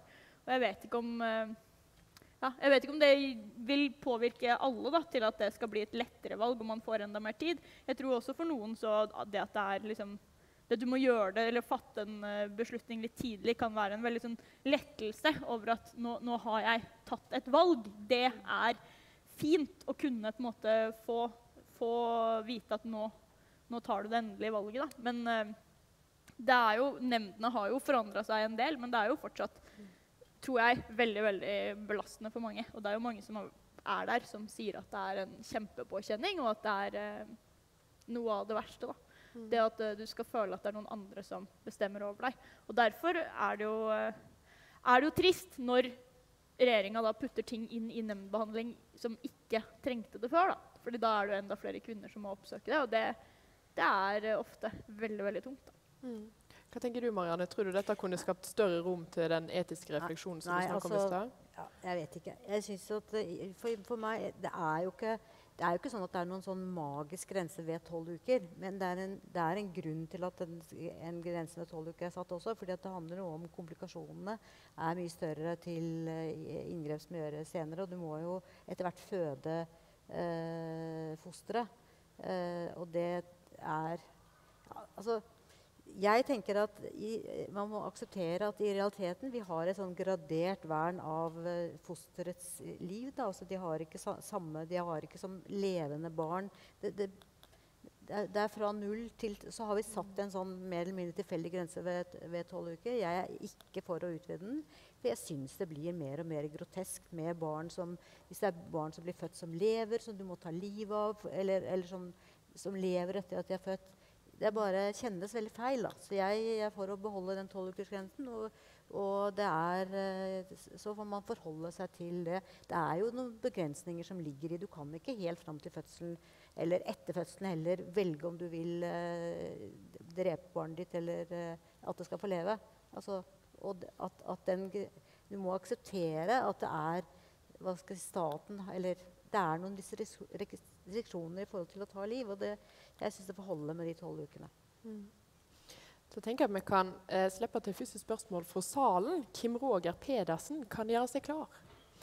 Eh, og I mellomtiden så lurer jeg på hva tenker dere om, for Du refererer til det som eh, på en ganske hard måte ved at du sier å ta liv og ikke bare å ta en abort. Hva tenker dere andre om den måten å fronte det på? Nei, jeg er jo ikke helt enig i det. Eh, det kommer kanskje ikke helt som et sjokk. Men eh, det, det, er jo en veldig Altså I Norge så diskuterer man jo ikke abort så mye. Loven til selvbestemt abort har jo ligget fast fram til man nå fikk den store liksom, KrF oppsvingen da, på en måte ved å diskutere det nå. Det har vært diskusjoner rundt noen ting eh, før, men, men, i det store og hele så har det jo vært en veldig ro da, i veldig lang tid rundt abortloven, og veldig sånn trygghet, annet når man fikk litt sånn reservasjonsrett og litt sånn skamdag. Så man har jo ikke et veldig språk i Norge for å diskutere dette veldig. Men i USA, der den diskusjonen er høyst levende, så er det jo veldig liksom, delt. da. Der er det jo akkurat som du beskriver, enormt skyttergrav. Eh, polemikk rundt abortdiskusjonen hele tiden. Og der har jo liksom Right to Life-bevegelsen, der liksom man snakker om at uh, liv begynner ved unnfangelse, den, den er jo veldig liksom stor og sterk organisert. Og det har jo ført til voldsomme innskrankninger i ganske mange abortrettigheter i uh, USA. Da. Mens i Norge så har man ikke egentlig snakka noe om Altså, så har ikke hoveddiskusjonen gått på liksom sånn, eh, begynner, begynner, livet ved unnfangelsen, eller begynner den da eh, barnet liksom får hjerteslag, eller ved bevissthet, eller hvor er dette? Og selvsagt så er jo det liksom større og mer kompliserte svar, og du får jo ikke en uke heller, da, der det er sånn Nå begynner alle barn på en måte Der er på en måte livet i gang. Men jeg mener jo at eh, når man har diskutert uker de siste det siste halvåret, så har det jo vært ganske mange uker oppe på bordet. Og 16 er jo ikke altså Det er jo først ved 22 da, eh, man begynner å snakke om at eh, liksom, fosteret er levedyktig utenfor mors mage. Eller 22, 23, 24. Det er jo litt der. Og der er jo også teknologien veldig på frammarsj. Så det er veldig skummelt å skulle knytte på en måte en uke til, eh, eller om abortgrense til om fosteret er levedyktig utenfor mors mage eller ikke. fordi man om kanskje noen år da, vil ha en helt annen teknologi enn det man har nå, til å sørge for at barn er levedyktige utenfor mors mage i en ganske tidlig alder, da, eller tidlig i ukene. Da. Og da whoops, plutselig så er det ikke tolv, liksom. Da kan det være ni. ikke sant? Eller, eller, sånne ting. Så det er viktig å på en måte ja, jeg, jeg, lever godt med at den er tolv uker i dag, og så vil jeg gjerne utvide den. Men jeg mener jo ikke at og dette er jo et spørsmål som er veldig mye større, da, men jeg mener jo ikke at livet da på en måte begynner ved unnfangelse på den måten. Og derfor mener jeg jo heller ikke det er å ta liv. Jeg mener jo at det er et foster, og at du utfører en abort. Og at eh, man, jeg ikke vil bagatellisere det. Jeg tror ikke det er det samme som å dra til tannlegen. Jeg skjønner at det er noe ganske vesentlig forskjell, men det er på et eller annet måte så er det også en medisinsk eh, handling. Da. Og det, det, må man også kunne få lov til å holde litt liksom, eh, fast i. Da. Mm. Vi skal ikke gå altfor dypt inn i denne diskusjonen, men Nei. du kan få en liten kommentar. Marianne. Ja. Altså for det, første som du sier, det med at, at grensen for leve... Jeg, den, den, den, lar seg ikke flytte. Altså det, er måte, det, er ikke noe som tyder på at man Så det kan du nesten glemme, holdt jeg på å si. Men det er noe så. For det, det, er ikke sånn teknologisk mulig å flytte den grensen noe, noe lenger enn ned til sånn 22-23 uker. Men, men, det er en sak for seg. Men altså, det er jo altså, du, du, kan jo ikke si diskusjonen om det er liv eller ikke. For det er jo klart at det er liv. Idet det er en befruktning, så er det liv per definisjon. Du kan jo velge å neglisjere det og ikke ville tenke på det og ikke ville si det høyt. Men det er klart at det er liv, og det er å ta liv. Men, mener, sånn, det har vi akseptert at det gjør vi. Hvorfor ikke si det? Mm. Er det fordi at det, liksom, det høres så ekkelt ut? Mm. Ja. Det er et godt spørsmål. Jeg tenker med da så eh, åpner vi for det første spørsmålet som står klar her. Kim Roger Pedersen. Så kan Julian Silden Langlo gjøre seg klar. Og jeg vil også minne om at det fremdeles er mulig å skrive seg opp på talerlista bort hos Magnus. Ok. Som jeg sa tidligere i løpet av dette møtet etikk, ansvar og ja, dine egne moraler.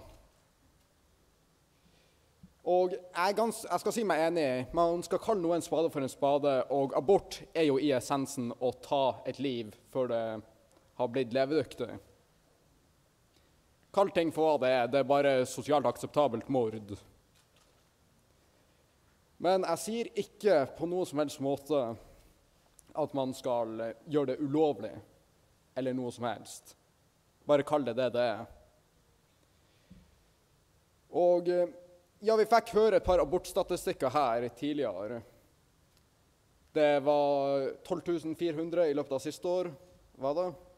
Ja. Hvor mange sier seg enig i at man burde ta mer individuelt ansvar og kanskje innskrenke nødvendigheten for abort, i stedet for å la ting gå utover abort eller valget sjøl, med å gjøre ting lettere å unngå uplanlagte graviditeter? Har du et spørsmål? Ja, det er nettopp det spørsmålet er.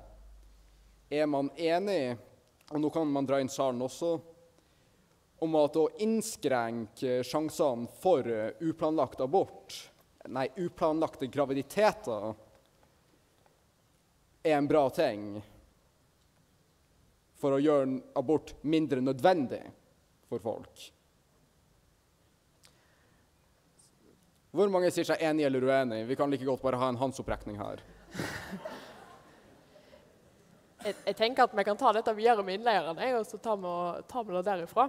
Men vi kan begynne litt eh, sånn jeg skjønner spørsmålet, så går det på en, eh, om en heller skulle satt inn tiltak som kan forhindre uønska graviditet, og hva en eventuelt kunne gjort. Line Lise? Det er masse tiltak man kan gjøre for å unngå uønsket graviditet. Og der mener jeg jo, som jeg også kort var inne på i stad, har jo KrF faktisk gått i spissen for å f.eks. være med på å innføre gratis langtidsvirkende prevensjon for kvinner eh, under en viss alder.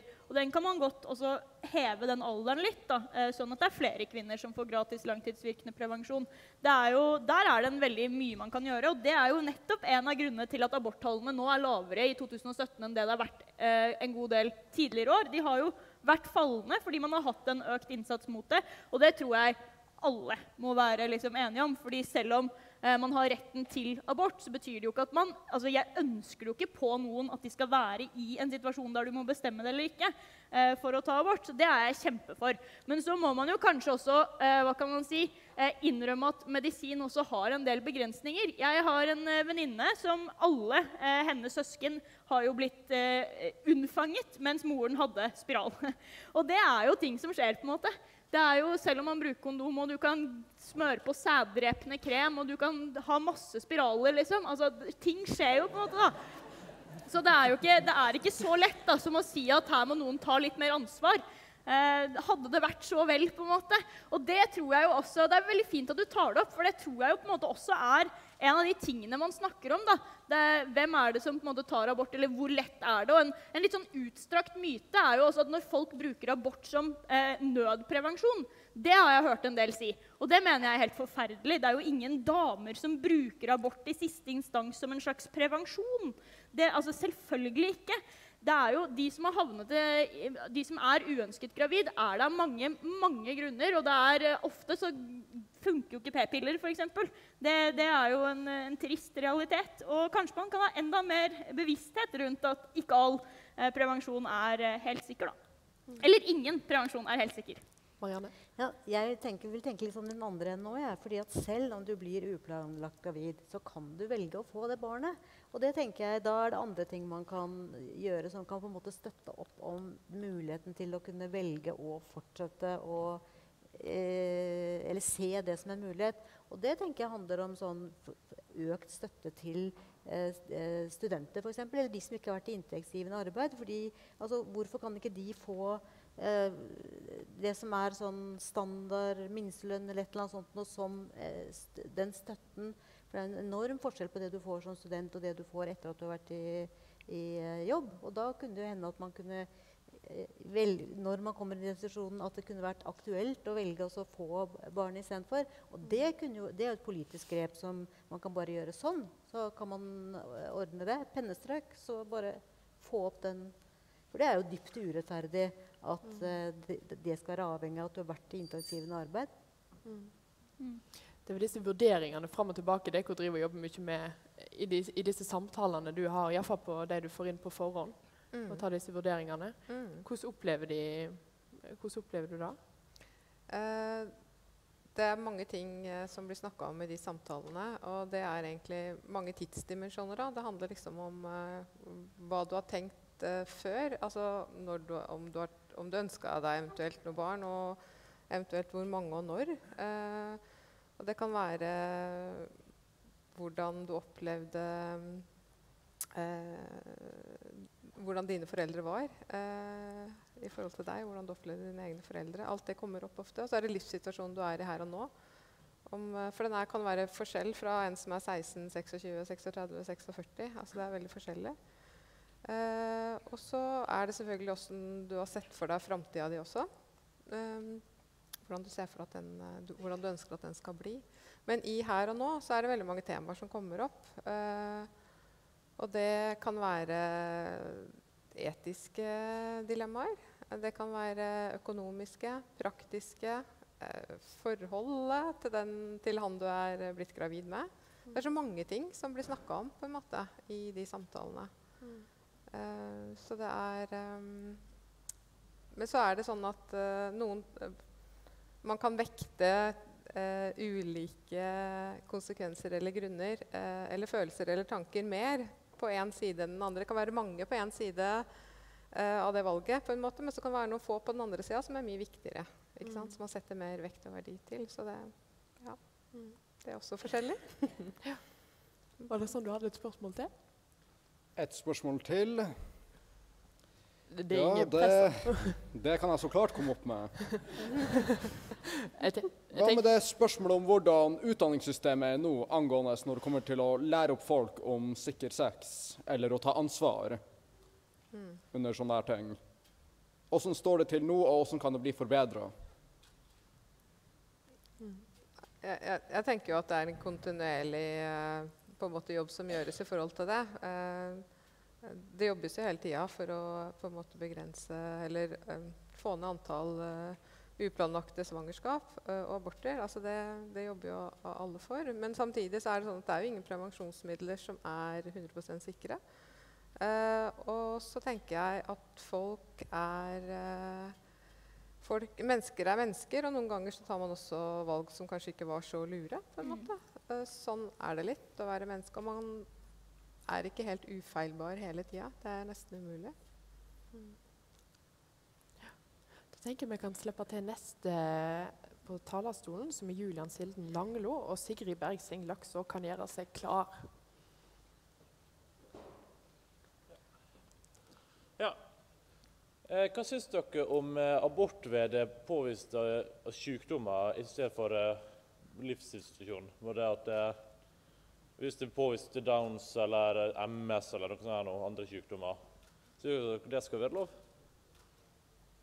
Lise? Eh, jeg mener selvsagt skal det være lov. Jeg, jeg mener at vi, eh, vi har kanskje en tendens til å bare si at vi har selvbestemt abort i Norge i dag, uten å reflektere nok over hva selvbestemt faktisk betyr. da. Fordi For meg så er det veldig viktig at eh, selvbestemt abort betyr nettopp at det er, det er ditt valg. Du trenger ikke å ha en verdig nok grunn. Du trenger ikke å ha eh, altså Det er ingen andre som, må, som kan, trenger å godkjenne din grunn og si sånn Dette er en bra grunn. Her, her har du virkelig jobba for å finne en god grunn. Altså Det handler om den, det individet da, og eventuelle partner eller andre vedkommende velger å måte, involvere i det. Eh, det, det handler nettopp om at vi har lov til selvbestemt abort. Og da må også det gjelde for folk som ikke har ressurser nok, eh, om man er ung, eh, om man er for gammel, om man har flere barn, om man ikke ønsker barn i det hele tatt, eller om barn, eh, barna har en sykdom eller andre ting. Jeg mener bare at virkelig da, den retten ligger der. Og så er det selvfølgelig ting man kan gjøre sånn som man snakket om i stad. Eh, hvordan man kan legge til rette for at kvinner som ønsker eh, barn, enten barn punktum, men ikke har eh, ressurser til det, eller eh, man ønsker barn, og så finner man ut at barnet har eh, et, en sykdom som gjør at det kommer sannsynligvis til å være enda kre mer krevende å føde det. Da kan man legge til rette for at det kan skje på bedre ting. Økonomiske ordninger osv. Og, så videre, og, og det er vi jo selvfølgelig for at man skal gjøre. Liksom. Og det har jo også KrF nå noen punkter i den nye regjeringsplattformen om hvordan de har tenkt å gjennomføre. Mm. Har du noen tanke om dette, Marianne? Eh, altså jeg tenker altså, at det skulle være altså det, Dette blir jo ofte sånn delt i to, to debatter. Da. Det ene er sånn eh, abort som man kanskje ikke diskuterer så veldig mye lenger, unntatt når det av og til kommer opp. Men så har man jo veldig mye diskusjoner rundt det som eh, kalles sånn sorteringssamfunns... Eh, som jeg syns er litt sånn ja, for meg så det, blir det en litt sånn jeg synes Det er på, litt sånn på siden-diskusjon. på en måte, for jeg synes Det er merkelig å tenke seg ja, du kan velge uh, å ta abort fordi du skal på en ferie eller fordi det ikke passer med utdanningen. Da er det liksom ok. ok men hvis det, et, hvis det, er et, funksjonshemmet barn, så er det ikke ok. Det syns jeg er en veldig sånn kunstig uh, sak. Men, sånn, men personlig så jeg er ikke så interessert i den sorteringsdebatten. Eller det, den blusser ofte. Den går hele tiden, og veldig mange som er engasjert i det. Så jeg har valgt å konsentrere meg om de friske fostrene og de friske mødrene. Fordi jeg tenker at det, det, er, de, de, det er de det er flest av. Og at de også skal, skal få kunne speile seg i noe. Eller de har også vært oppmerksomhet. da. Altså selve sånn valget. Og så tenker jeg at det er det, ja, det, er nok andre som er opptatt av den sorteringsgreia, så de må jo bare fortsette med det. Men min sånn hovedgreie er de friske fostrene, de friske barna og abort sånn as such. da. Mm. Marianne, du er jo ikke kanskje i stilling til å ta eh, stilling til dette, men eh, jeg lurte på, har dere inne noen som eh, vurderer å ta abort pga. sykdommer, eller har, har dere helst de som er tidligere i fasen? De fleste som kommer til oss, uh, kommer før uke tolv. Okay. Det gjør de.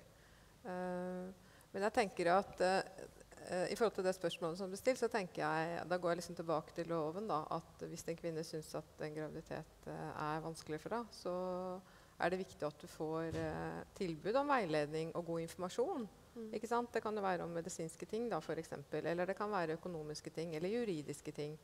Eh, eller at du har behov for å snakke om mange av de temaene som jeg nevnte i stad. Altså det, det, er jo det det handler om, at hun får mulighet til å få god nok informasjon. Mm. Og, og um, får muligheten til å ta det valget på helt selvstendig grunnlag, tenker jeg da. Men, men selvfølgelig skal hun få god nok informasjon uansett. Også om abort, og også om muligheten til å fortsette. Hvis du, hvis du ønsker det sjøl. Ja. ja. Line Lise? Ja, jeg bare tror også at uh, der, der, er det ekstra vanskelig.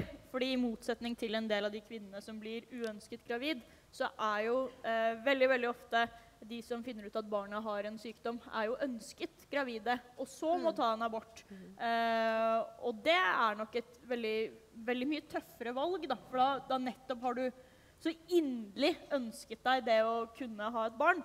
Så la oss det er derfor jeg syns det er utrolig kynisk hvordan man snakker om sorter eller sorteringssamfunnet og snakker om det. da. For dette handler jo virkelig om folk som har skikkelig hatt lyst på barn, og så finner man ut at man av en eller annen grunn ikke eh, er i stand da, til å ta vare på det eller ønsker det. Og da må de, da må de liksom ta det valget. Og det er veldig liksom, tungt. Da. Så jeg syns det, eh, det er en veldig kjip måte å skyve de, eh, de kvinnene da, foran seg og diskutere det på den måten man har sett i media. Mm. Da kan Sigrid Bergon Laksås få stille sitt spørsmål, og Nadia Myrbø kan gjøre seg klar. Eh, ærede storsal, mitt navn er Sigrid, og jeg er medlem. Jeg har to spørsmål. Det første det omhandler dette eh, som eh, både Hege og Marianne har snakka litt om. At mange som tar abort, føler at valget blir litt forhasta. At de har rett og slett litt for dårlig tid til å tenke seg om. Det er nå tolv uker der man er nødt til å bestemme seg innenfor. Og Da lurer jeg på hva panelet tenker at kan være hjelpa for disse. Kan det f.eks. være en idé å forberede seg mentalt på å ta abort uten at man skal ta abort, sånn at dersom man havner i den situasjonen, så har man tenkt litt gjennom hva man ville gjort? Eller har noen, dere noen andre forslag til uh, hvordan man kan møte disse utfordringene med at noen føler rett og slett er litt lite tid? Det neste spørsmålet uh, det omhandler dette om at jeg er kvinne, i motsetning til å være mann.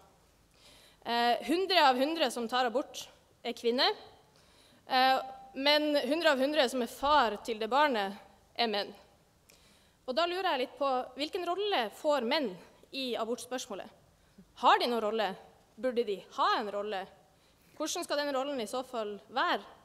Hvem får vetorett for om barnet skal beholdes eller fjernes? Og hvis far ikke ønsker barn, men mor gjør det, kan far da, eller burde far da ha rett til å ta juridisk abort og ikke forholde seg til det barnet som blir født, ettersom man ikke ønsker det i utgangspunktet? Takk. Jeg tenker Vi kan begynne med det første spørsmålet. kanskje. Eh, Hege, du jobber en del med rådgivning. så kanskje du ut... Hva tenker du? Burde en forberede seg litt på at en kanskje kan ta en abort? Eh, det er litt vanskelig å svare på. Eh, jeg, som jeg sa i stad, så tror jeg ikke det er så lett å sette seg inn i det kanskje før man har blitt uplanlagt gravid, eller har planlagt å være gravid og likevel bli i tvil. Altså det, er, det, skjer jo også. Um, men jeg har jo inntrykk av at um, Altså um, Når du opplever Eller du finner ut da at du er gravid kanskje sånn uh, fjerde, femte, sjette svangerskapsuke. Eh, og så skal du ta et valg da før utgangen av 12. Så er det, det inntrykket jeg sitter med, i hvert fall, er at de fleste som, som jeg snakker med, gjerne vil eh, Hvis de tenker at det beste er å ta en abort, så ønsker de å gjøre det så raskt som mulig. Og noen ganger så blir de også overraska, for de må jo eh, gjerne vente, kanskje, hvis de har bestemt seg. ikke sant? Fordi de får ikke time på sykehuset, eller de gjennomfører ikke medisinske aborter før ja, slutten av sjette, begynnelsen av syvende uke. Vil de helst at kvinner skal komme inn første gang. Eh, eh, så noen er veldig utålmodige på det eh, fordi de har bestemt seg. Og det er vondt å være i det da, når du har bestemt seg, måtte vente. Samtidig så er det eh, for mange eh, nyttig å ha den tida. At de føler, for mange føler den tida som en trussel. Eh, så er det kanskje bedre å se på tida som en ressurs. ikke sant? At du får faktisk muligheten til å reflektere og snakke om begge mulighetene da, i valget. Og at det ikke er så farlig å bevege seg over på begge eh, alternativene du har. Eh, sånn at du blir så trygg som du kan eh, når du tar det valget du skal ta. Mm. Har noen av dere andre noen tanker rundt dette? Jeg syns du var veldig, veldig gode tanker. Oppsummerte det godt. Ja, gode tanker. Nei, jeg, jeg tror også det er eh, viktig å, ja, å ha den tida til rådighet. Og jeg tror også det er veldig mange som kjenner veldig sånn Å, å herregud, er jeg innafor de tolv ukene eller ikke? Det tror jeg nok var liksom, Det er nok den første tanken til veldig mange. Mm. Liksom, eller det kan være en av de første tankene. da, sånn, Shit, har jeg god eller dårlig tid på dette valget? Hvordan ligger jeg nå? Det er jo, det er jo stressende, på en måte. Det kjente jeg i hvert fall på sjøl. Sånn, å, shit, pommes frites, liksom, går dette bra? Eller må man mm. liksom i en nemnd, eller, eller, hva skjer? Men så må man jo huske at nesten alle som tar abort i Norge i dag, gjør det jo innen eh, uke tolv. Så det er jo eh, det, det funker jo på en måte. Da. Eller det er en, det er en tid som det går an. Og så vet jeg ikke om jeg er også helt enig i at jeg vet ikke om det går an å på en måte virkelig sette seg inn i det før man er der. Men selvfølgelig oppfordrer jeg jo alle til å tenke gjennom det eller snakke med liksom, partner. Hva vil man? Og finne ut på en måte også hvor det liksom, trykker. da, Hva er det som eventuelt tilsier ja, hva er det som tilsier nei? Alle disse spørsmålene er jo kjempeviktig å tenke igjennom. Eller, eh, og man kan godt gjøre det på forhånd òg. Mm. Del to av spørsmålet her var jo veldig spennende. Dette med mannens rolle. Da tenker jeg det er naturlig å starte med deg igjen, Hege, for dette har jo du faktisk forska på. Hva tenker du? Hva bør mannens rolle ved, i, ved en abort? Eller ikke hva bør han være, men hva er han? Uh, ja, hvilken rolle han har. Uh, han jo, det har jo vært sånn de siste tiårene at mannen har fått større, flere roller og mer ansvar på en måte i forhold til det uh, i hvert fall å fortsette et svangerskap. Um, men uh, de mennene jeg møter, er jo med kvinnene uh, på samtale fordi at de er usikre. Som regel er det da jeg møter de. Og de fleste kvinner jeg møter, er veldig opptatt av hva mannen mener, og hva han tenker og hva han føler, og de vil gjerne vite hva han ønsker videre. Eh, det er ikke bestandig at de er enige om hva som skal skje. Det er ikke bestandig hun får det svaret hun ønsker, og det gjør det ekstra komplisert. Men da er det veldig forebyggende å komme og snakke med noen, eh, tenker jeg da. Eh, fordi eh, ofte når de er hjemme, så er det, blir det mye krangling, kan bli, diskusjoner. Og det kan bli mye vondt ut av det. Og så er det lettere å snakke med noen som på en måte ikke har noe mening om det valget.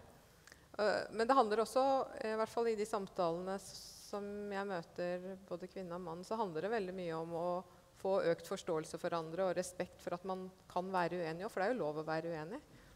Uh, men jeg ser at um, mannen er veldig viktig for kvinnen i det valget. Mm. For de fleste kvinner, i hvert fall. Ja.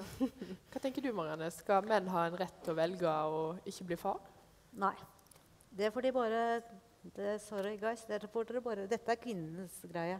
Men altså, de aller fleste kvinner bryr seg jo om For det får jo konsekvenser for, for uh, deres liv videre. Og om, om, de klarer å samarbeide. Men jeg tenker at uh, det er kvinner som til syvende og sist må ta det valget. Menn kan ikke ta det. De kan verken sånn tvinge kvinner til å skulle føde et barn eller eh, nekte dem å føde et barn. Så det får man bare accept it. Mm. Og, jeg, altså sånn, og de, du kommer ikke unna med sånn Eller jeg syns ikke man skal gå inn for sånn uh, jury, jeg husker ikke det engang, Men at menn skal på en måte kunne bare sånn kjøpe seg fri da, eller nekte seg ja. Mm. Men så kan en jo samtidig si, lure litt på hvor likestillingen blir av i dette. fordi at etter niende måned og barnet er født, så får det jo, har det jo like mye å si for begge kjønnene at det er kommet et barn til verden. Ja, det får man tenke på før, da. Mm. Nei, sånn er det bare. Det er bare noen begrensninger i Det er jo ikke sånn at det er helt likt å være mann og kvinne. Det er vi som føder barna. Det er vi som sitter med det. Det er, som, det er våre kropper som både sånn skal bære barnet frem, og også sånn som skal uh, gjennomføre det, et abortinngrep. Mm. Hva tenker du, Line Elise? Nei, Jeg er enig. Det er, eh, det er kvinnen sin måte, kropp, og det er kvinnen som må ta det valget. Og eh, jeg tror det er, eller sånn, sånn, som det også blir sagt her, da, eh, det er, Selvfølgelig betyr det veldig mye hva en eventuell partner mener, og hva en eventuell partner har å si. Uh, og det, det, er jo bare liksom, som seg hør og bør. Uh, det er fint, det. Men det er, jo, det er, jo, kvinnen som må ta aborten. Og da eventuelt ikke ta aborten. Uh, og, men det eneste som jeg syns er litt skummelt, da er i den diskusjonen om juridisk abort. så er det jo de samme innvendingene hvorfor, om hvorfor juridisk abort ikke skal gjelde. Det er sånn, Dette burde du tenkt på før. Du burde tatt på deg liksom, prevensjon. Det er de, akkurat de samme argumentene som kan brukes mot kvinner før de blir på en måte uønska gravid. Det er derfor jeg ikke er først og fremst så opptatt av at eh, juridisk abort er dumt fordi menn burde tenkt på å bruke kondom før. Eller dette på en måte sa du ja til når du hadde sex. fordi det gjelder jo også for kvinner. Men at det er heller andre deler da, ved juridisk abort jeg syns er problematisk. Som at når du velger å eh, ta en abort, så er jo eh, fosteret borte. Da blir det jo ikke noe liv. ikke? Da, da, får du jo aldri noe barn.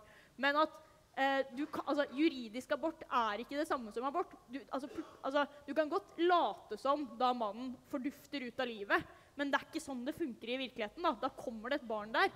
Eh, og det er veldig mye mer til det å være far enn å bidra økonomisk på en måte, til fosteret, som er det staten, eller sånn staten man foreslår at staten skal bidra. Hvis mannen tar eh, og forsvinner, så skal staten bidra økonomisk. på en måte. Det er jo ikke den eneste rollen en far har, er jo ikke å bidra økonomisk til barnet. Og barnet fins jo. Så derfor blir det en veldig rar debatt spør du meg, med sånn juridisk abort.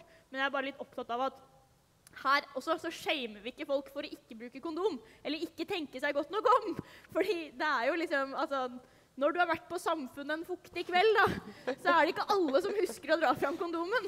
Og det er jo nettopp i de situasjonene man har eh, på en måte, altså, Det går begge veier akkurat der, da. Så bare der vil jeg ikke ha, ha jeg, vil ikke, jeg vil ikke si det som um, argument mot juridisk abort. Jeg, jeg fikk lyst til å si bare noen ting i forhold til det med, med menn. Fordi eh, eh, altså, det er kvinna, tenker jeg, jo, som skal ta valget og, i forhold til sin egen kropp. Men, eh, men det at menn kan få eh, tilbud om veiledning, eh, det tenker jeg er veldig viktig. For det har veldig stor betydning for menn også om de skal bli far eller ikke.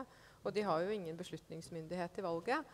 Og det, jeg har jo en del samtaler bare med menn også, og det får stor innvirkning på, innvirkning på deres liv. Både å være i den beslutningsprosessen som kvinnen er i, men også selvfølgelig i etterkant av, av et valg.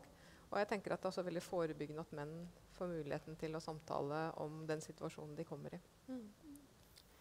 Da kan Nadia Myrbø få stille sitt spørsmål, og så kan Mathilde Breda Enkerud gjøre seg klar. Før vi tar neste spørsmål, vil jeg bare si at eh, talerlista som foreligger nå, er Nadia Myrbø og så Mathilde Breda Enkerud. Kan eh, Storsalen godkjenne at vi setter strek under Nadias spørsmål? Takk.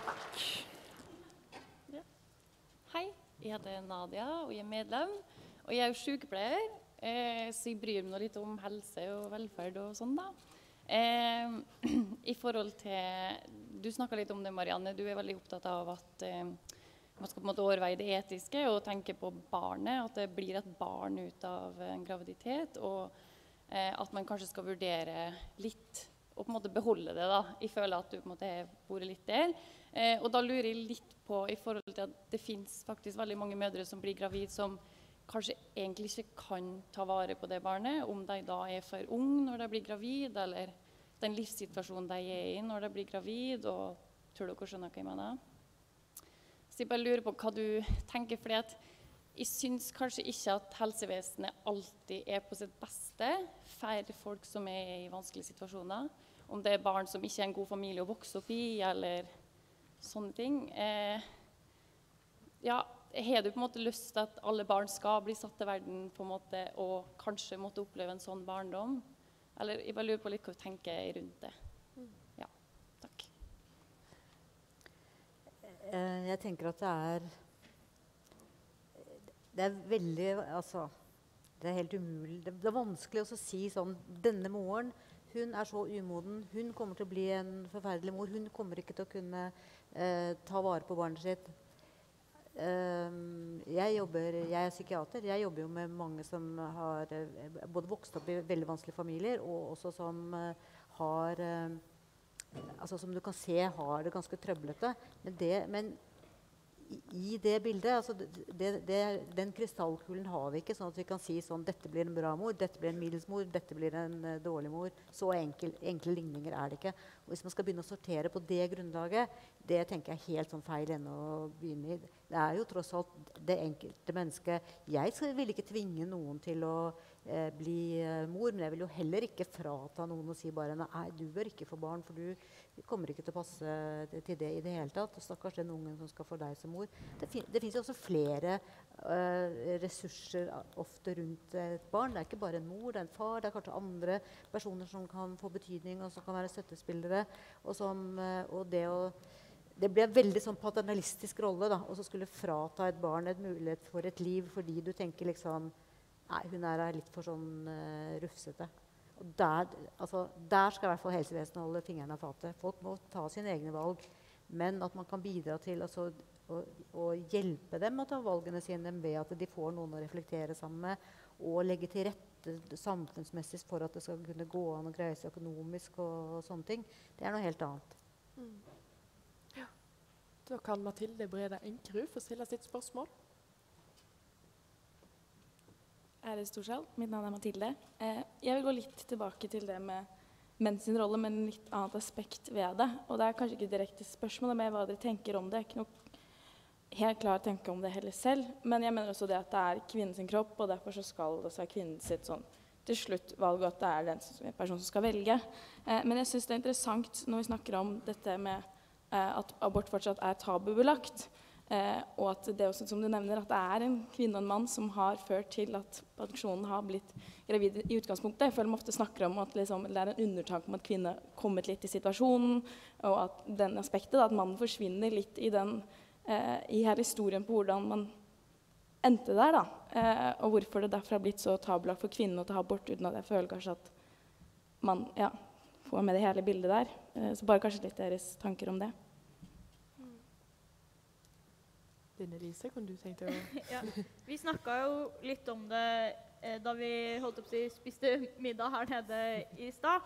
Og det er jo det at eh, det er jo et enormt ensomt valg å ta, da. Eh, det er jo det er liksom Du er jo aleine. Eh, det er du som på en måte til syvende og sist må leve med det. Det er utrolig flott å ha en partner som kan være veldig støttende. Og, og, og gjerne også hvis man er enig, så er det jo sikkert en voldsom styrke. Eh, men, men, det er liksom sånn Det er på ingen måte noe en mann kan oppleve. da, eh, 100% Og jeg tror jo eh, Du var jo litt inne på det i stad. Nettopp det for at det kan sitte mye lenger hos kvinnen. Det, dette kan være noe hun har større behov for å snakke om lenger. Nettopp fordi det er hun som må ta liksom, det valget 100% Men det er jo eh, jeg syns jo også det er viktig med altså, Og dette handler jo mer om sånn seksualundervisning og den type ting generelt at det er enormt viktig at man ansvarliggjør også menn. At man snakker om menn og kvinner. At man eh, sier at måte, det, er noen konsekvenser av det valgene man har. At seksualundervisningen på, måte, på skolen faktisk blir bedre. Da, sånn at man snakker om det eh, og også gir på en måte der det er naturlig, da, men den rollen eh, at man kan snakke om det, og at man også føler at det er noe som angår dem. Det er ikke, altså Hvis man ser på hele sånn svangerskap og barn og alt mulig nå, så er det ikke veldig mange år det har vært helt liksom, normalt at menn går og triller en barnevogn. Altså, dette er fortsatt noe som eh, på veldig mange, altså Alt som har med fødsel, graviditet, bla, bla, bla, det blir jo lempa over til kvinnen. Eh, både fordi måte, vi har tatt det, og det er biologisk måte, vårt, men også fordi samfunnet ikke måte, har inkludert menn. Da. Så jeg er veldig, veldig for at, kan, at, menn kan være en del av det. At du kan uh, ansvarliggjøre dem, at man kan snakke om det. At menn kan ta en større måte, ansvar eller del, og, og også være der for partner, liksom, det, eller om det er mulig. Da. Det er jo ikke alle som har en partner en måte, å snakke om eller snakke med. Um, men samtidig så er det noe med at det er ja, enormt ensomt. At det er et valg du må ta. Og det er noen opplevelser da menn bare aldri kan ha vedrørende dette. Og det gjør jo sikkert også at det er eh, veldig vanskelig å kunne leve seg helt inn i det da, på samme måte som en kvinne kan. Og jeg mener jo 100% bestemt at det er kvinnens valg, og at kvinnen i siste instans er den som har retten til å avgjøre. Eh, og at, skal, at, det ikke skal være prester eller politikere eller partnere som på en måte tar valget på vegne av deg. Men det betyr jo selvsagt ikke at en kvinne ikke kan høre på, drøfte, snakke med folk. Enten det er på en måte helsetjenesten eller partneren sin. Det er jo bare et gode hvis man har noen man kan dele dette med. Absolutt. Mm. Har dere andre noen tanker om dette? Nei, jeg er bare veldig enig med deg. Altså, bare, altså, det er noe med å holde de tingene litt sånn fra hverandre. Det er våre kropper, det er vårt valg, og det må være vårt valg. Det kan ikke være på noen annen måte. Og det, og det preger oss på en eller annen måte. Om det er lett eller litt vanskeligere eller veldig tungt, så er det vi som blir sittende med det videre eh, resten av livet. Da. Men, men eh, det å ha en, en som på en måte er en støtte Og så forstår også rollen uh, sin at, at en, en, mann eller en partner som er på en måte den som er med og hjelper deg gjennom dette, da, uansett hva det er du velger, velger, har eh, veldig stor betydning. Og jeg, tenker, jeg tror faktisk at det er veldig lite om sånne ting i seksualundervisning på skolen. Jeg tror det, eh, altså, Du kommer liksom til prevensjon, og så er du på en måte sånn Det, det er it, omtrent. Sånn at det at det, måte, ja, et barn er, er, en mulig konsekvens, hvordan, eller et svangerskap, og hvordan håndterer man det? Og hvordan det med å, å støtte opp under det, eller ta sin rolle, eller forstå ja, de konsekvensene, at det er en del av det å være voksen. da. Mm. Så ja, det, det, er mange sånne brikker som Det er mye som skal til før det, det fungerer. Det er det jo åpenbart, men det er et veldig viktig aspekt. da. Mm. Både holde fast ved at det er kvinner, det er våre kropper, det er våre valg, men likevel så er vi det er to om det. Mm. Er dette en del av de samtalene dere har med par? Eller tema? Ja, eh, og jeg tenker at det er jo um, det at uh, de får til å snakke sammen. Altså, de skal jo, uh, I hvert fall de som er et par, da, eller i starten på et kjæresteforhold, de skal mest sannsynlig prøve å holde sammen uh, etter det valget også. Og hvis de ikke snakker sammen om det, så vil jo det kanskje ikke være så bra.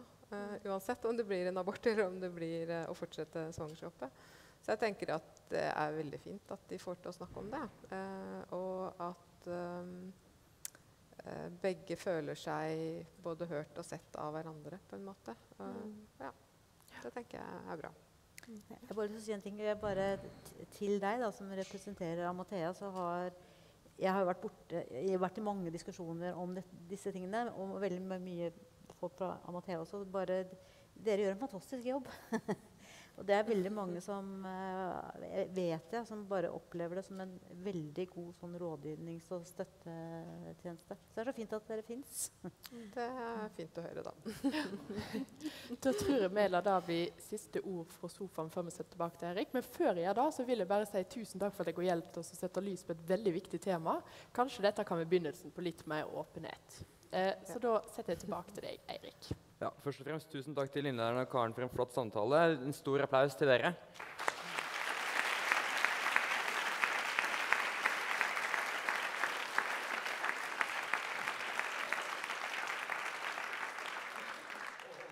til alle som stilte spørsmål. Eh, da er vi over i punkt ni for kvelden, som er eventuelt. Er det her noen ytringer?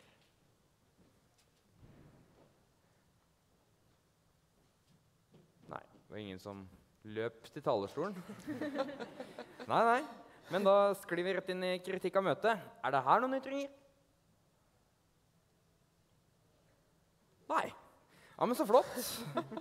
Eh, før jeg hever møtet, vil jeg bare minne om at eh, styret arrangerer et informøte om eh, frivillige og ideelle organisasjoner sammen med Samfunnsengasjert i Trondheim i Edgar i morgen klokka fem tillegg vil jeg minne om onsdagsdebatten på onsdag klokka seks i regi av styrets debattkomité, som skal ta for seg demokratiet og hvorvidt det er utdatert. Eh, da vil jeg helt til slutt takke Marianne Mjåland, Line Lise Øen Mellen, Hege Follestad, alle som stilte spørsmål, styrets debattkomité, forsterkerkomiteen, regi, videokomiteen, studentmediene, markedsføringsgjengen, ITK, Rådet, Lørdagskomiteen, Fotogjengen, vaktene samt kafé- og serveringsgjengen. Møtet er hevet. Woohoo!